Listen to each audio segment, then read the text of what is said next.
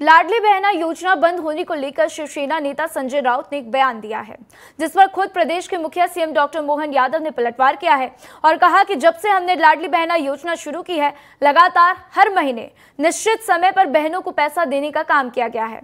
तो हमने हमारी 500 साल पूर्व की सामग्री, वीरांगना रानी दुर्गावती की जयंती के अवसर पर भी एक साथ पूरे प्रदेश की बहनों के खाते में पाँच पाँच हज़ार की राशि डाली है। तो कोई ऐसा महीना नहीं जा रहा जिसमें यह राशि नहीं डाली गई हो। आगे क्या कुछ कहा है उन्होंने? सुन लीजिए।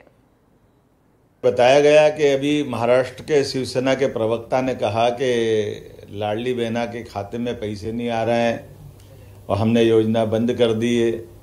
मैं आपके माध्यम से बताना चाहूँगा कि ज़रा संजय राउत, आप मध्य प्रदेश में आके देखो एक करोड़ उनतीस लाख बहनों के खाते में कैसे पैसे जा रहे हैं? जिस प्रकार से हार के भय से शिवसेना, उद्धव की पार्टी के लोग झूठ बात करके महाराष्ट्र के चुनाव में जनता को बरगलाना चाहते हैं, जनता बरगलाएगी नहीं। हमारी इस योजना के भरोसे से निश्चित रूप से महाराष्ट्र में भी भाजपा की सरकार बनेगी।